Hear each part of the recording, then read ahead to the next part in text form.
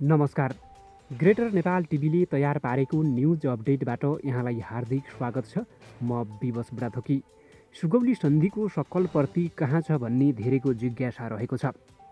तर सिंहदरबार आगलागी हुँदा सुगौली सन्धिको सक्कलप्रति भारतले नेपालका कर्मचारीहरूबाट किनेर अथवा जालझेल गरेर भारतको देहरादुनमा पुर्याएको एक थरीहरूको भनाइरहेको छ।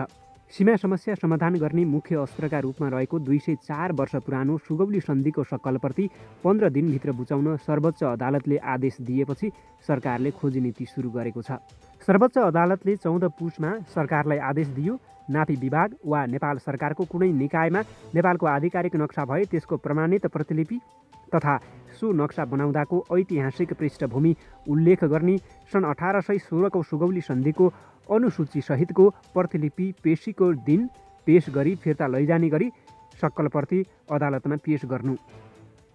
यो सँगै आदेशमा सन् अठार सय साठीको ब्रिटिस इन्डिया सङ्घको सन्धि सन् अठार सय सत्ताइस फेब्रुअरी एकमा इस्ट इन्डियाले प्रकाशित गरेको नेपालको नक्सा र सन् अठार सय छ्यालिसमा लन्डनमा प्रकाशित भएको भनिएको नेपालको नक्साको प्रतिलिपि समेत दाखिल गर्नु भनिएको छ।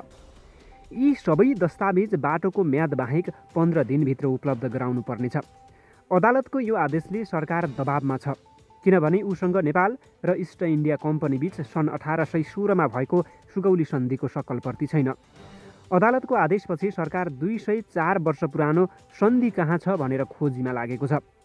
लिम्पियाधुरा कालापानी र लिपुलेक सहितको भूभागलाई समेटेर भारतले सोह्र कार्तिकमा आफ्नो नक्सा सार्वजनिक गरेपछि सीमा विवाद र नेपालको नक्साको बहस सुरु भएको हो। भारतीय नक्साको विरोधमा सडकदेखि सदनसम्मै आवाज उठ्यो र यो मुद्दा न्यायालयसम्म पनि पुग्यो। भारतले प्रकाशित गरेको राजनीतिक नक्सा खारेज गर्नुपर्ने संविधानमा भएको नेपालको नक्सा संशोधन गर्नुपर्ने माग राख्दै विश्वप्रकाश भण्डारीले सर्वोच्च अदालतमा रिट हालेका थिए।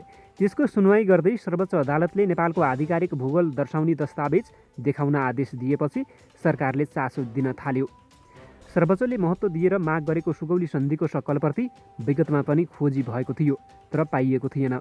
राष्ट्रिय अभिलेखालय ऐनले पच्चिस वर्ष वा सोभन्दा पुराना कागजपत्रहरू सबै कार्यालयले राष्ट्रिय अभिलेखालयमा पुर्याउनु पर्ने बताएको छ। राष्ट्रिय अभिलेखालय ऐनको दफा छमा यो व्यवस्था गरिएको छ। कानुन अनुसार हस्तलिखित ग्रन्थ किताब प्रतिवेदन आर्थिक विवरण सन्धि सम्झौता पत्र पत्रिका चिठी पत्र लिखित चित्र तस्बिर नक्सा योजना चार्ट फाइल मिसल रजिस्टर वा कुनै प्रकाशन राष्ट्रिय अभिलेखालयमा पुर्याउनु पर्ने हुन्छ। त्यस्तै फिल्म माइक्रोफिल्म टेप चलचित्र कम्प्युटर डिस्क कम्प्युटर क्यासेट पनि अभिलेखालयमा पुर्याउनुपर्छ। पच्चिस वर्ष पुगेपछि सुरक्षित राख्न अभिलेखालयमा राख्नुपर्ने कानुनी प्रावधान हो। तर दुई सय वर्ष पुगिसक्दा समेत सुगौली सन्धिको सक्कलप्रति त्यहाँ पुगेको छैन। अब सरकारले के भन्छ त?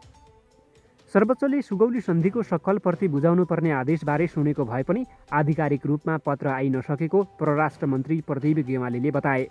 पत्र आइसकेपछि चेकलिस्ट गरेर त्यसमाथि काम गर्ने उनको भनाइरहेको छ। परराष्ट्र मन्त्री गेवालीले आइतबार नयाँ पत्रिकासँग भने सरकारसँग छैन भन्ने त हुँदैन तर त्यो खोज्नुपर्छ।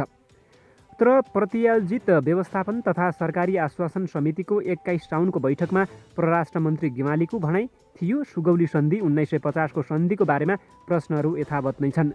ब्रिटिस लाइब्रेरी र कलकत्ता लाइब्रेरीमा पनि खोजी कार्य भइरहेको छ। केही महत्त्वपूर्ण दस्तावेजहरू चाहिँ कानुन मन्त्रालयमा पनि छन्। यहाँ भएका र बाहिर भएका दस्तावेजहरूलाई अध्ययन गरेपछि मात्र हामीसँग के के छन् भन्नेबारे थाहा हुन्छ।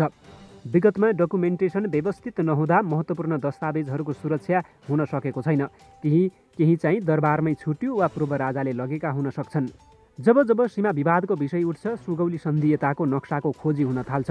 यो पटक पनि यस्तै भयो। भारतले आफ्नो राजनीतिक नक्सा सार्वजनिक गरेपछि सुगौली सन्धिको सम्झना गराइदियो। संसदीय समितिहरूमा मन्त्रीहरूले सुगौली सन्धि अनुसार कालापानी लिपुलेक नेपालकै हो भने पनि त्यो सन्धि चाहिँ कहाँ छ भन्नेबारे कोही बोल्न सकेका छैनन्। संसदीय समितिले नै लामो समयदेखि यसको खोजी गरिरहेको छ। सन् अठार सय सोह्रको मात्रै होइन सन् उन्नाइस सय पचासको सन्धि समेत समितिले फेला पार्न सकेको छैन। प्रत्यायोजित व्यवस्थापन तथा सरकारी आश्वासन समितिले नेपालका मुख्य पुस्तकालय एवं मन्त्रालयहरूसँग सोधखोज गर्दा पनि पाएको थिएन। समितिले नेपालको सुरुवातदेखि विभिन्न कालखण्डको भौगोलिक सिमानाको नक्साको अभिलेख नेपाल राज्य वा नेपाल सरकार पक्ष भई अन्य मुलुक वा अन्तर्राष्ट्रिय संस्थासँग द्विपक्षीय वा बहुपक्षीय सन्धि महासन्धि सम्झौता सम्मेलन आदिको अभिलेख खोजिरहेको छ। समिति सदस्यहरू सुगौली सन्धि खोज्नकै लागि त्रिभुवन विश्वविद्यालय सर्वोच्च अदालत सामाजिक विज्ञान सङ्घीय संसदका पुस्तकालय पुगेका थिए। विभिन्न मन्त्रालयहरूसँग पनि समितिले यसबारे सोधखोज गरेको थियो। समितिले पुराना सन्धि सम्झौता मात्रै होइन ग्रेटर नेपालको सक्कल प्रति पनि पाउन सकेको छैन। ऐतिहासिक दस्तावेजहरूको खानी भनिएको राष्ट्रिय अभिलेखालयमा पनि समितिले सुगौली सन्धि र सन् उन्नाइस सय पचासको सन्धिको ओरिजिनल कपी फेला पार्न सकेन। कहीँ कतै दस्तावेजहरू भेटाउन नसकेपछि समितिको पाँच साउनको बैठकले निष्कर्ष निकालेको थियो राष्ट्रिय महत्त्वका दस्तावेजहरूलाई कहाँ कसरी राख्ने भन्ने बारेमा सरकार गम्भीर छैन। के छ त सुगौली सन्धिमा? नेपाल सरकार र तत्कालीन इस्ट इन्डिया कम्पनी बिच दुई डिसेम्बर अठार सय पन्ध्रमा सुगौली सन्धिमा हस्ताक्षर भएको थियो। यो सन्धि थियो जसबाट नेपालले आफ्नो अधीनस्थ भूमिको एक तिहाईभन्दा बढी भूभाग गुमाएको थियो र अहिलेको भूगोल निर्धारण गरिदिएको थियो। नेपाल अङ्ग्रेज युद्धको विधिवत अन्त्य गराउने सन्धि पनि यही नै थियो। सन्धिमा नेपालको तर्फबाट गजराज मिश्र र चन्द्रशेखर उपाध्याय तथा कम्पनी सरकारका तर्फबाट लेफ्टिनेन्ट प्यारिस ब्राड शाह थिए। नौ धारा भएको यस सम्झौता पत्रमा नेपालका राजाले आजको पन्ध्र दिनभित्रमा आफ्नो मोहर लगाई लेफ्टिनेन्ट कर्नेल पी ब्राड शाहलाई बुझाइसक्नेछन् र उनले पनि बिस दिनभित्रमा जति सक्दो चाँडो कम्पनी सरकारका गभर्नर जनरलको तर्फबाट मोहर दस्तखत गराई नेपाल सरकारलाई सुम्पिदिनेछन्।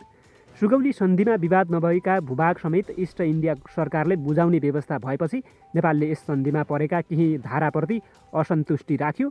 असन्तुष्टिलाई सम्बोधन गर्नका लागि नेपालले गुमाएका तराईका भूभाग फिर्ता गर्ने गरी आठ डिसेम्बर अठार सय सोह्रमा अर्को पूरक सन्धि भएको थियो। यस सन्धिले कोशी र राप्ती बीचको तराई फिर्ता भयो। मूल सन्धिको धारा चारको प्रावधानलाई खारेज गरियो। बर्दिया सहितका केही भूभाग पनि फिर्ता भएका थिए।